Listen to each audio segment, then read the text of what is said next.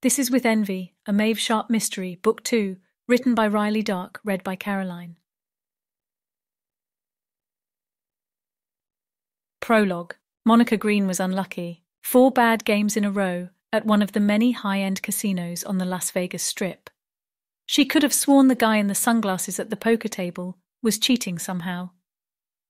They had swindled her out of almost all her money until she only had a few chips left to play.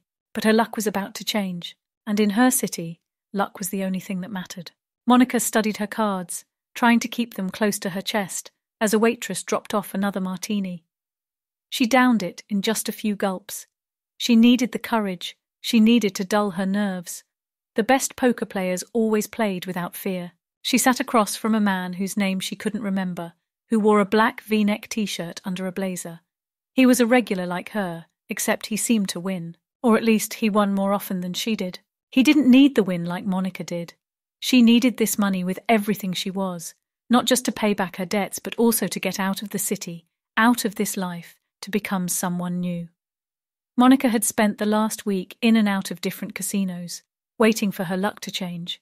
The man across from her looked like he could repay all his debts with an easy wave of his hand. He stared her down. He took a short breath and pushed the rest of his chips on the table. All in, Monica's face turned cold as she restudied the cards on the table and the cards in her hand. But she wasn't going to let him scare her off now. She held her breath and did the same, pushing her only two chips left on the table. It was the moment of truth. She wished she had some martini left to drink. The world started to tilt. Everything felt fuzzy and far away, but she ignored it. He placed his cards on the table. A flush. Monica almost felt despair before she remembered.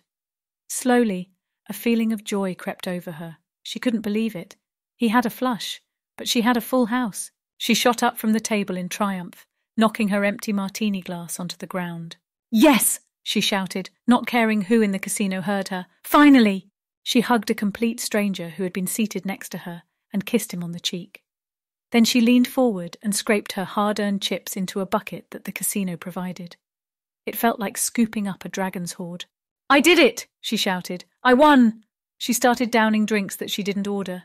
The others at the table sighed and rubbed their foreheads as they cut their losses and wandered to new tables to find new games. But Monica couldn't stop celebrating. Her luck had finally changed. She picked up her chips, careful not to let any of them fall onto the ground. She knew that even though she was rich now, every cent counted when it came to paying off her debts. She stumbled toward the door, not ready to make another bet. After years of drowning in debt, she would finally be home free. She'd have to count to be sure. But she finally had enough money to pay back all her loans and get out of that crappy apartment that she shared with her sister. She would move to a new city and start over. Maybe she could even go on a short vacation. Maui and Bora Bora were beautiful this time of year. But before that, she needed another drink. The room swayed back and forth as she dragged her casino provided bucket of playing chips down the lobby stairs and out the front door. She knew a great place down the road where she could get another martini, and no one would stare at her for acting too wild, and the bartenders wouldn't try to cut her off right when things got interesting. Maybe she would even buy a round for the house to celebrate her change of luck. Outside, the night was pitch black, illuminated only by the flashing neon signs of the strip. It must have been late, late enough that the freakish early risers were about to start their day, because even the sidewalks were empty and quiet. She wondered how long she was in the casino. It had been light outside when she entered, but she didn't care. She had made more in a day than most people would make in a year. She made off down the street, laughing to herself even though no one was there to listen. She started to feel that last martini, just a bit in the ringing of her head. She walked in the shadows, so no one would see her chips and think of stealing them. A figure solidified in the darkness. The outline reminded her of a bear, tall, imposing, with rough edges, and it was coming toward her.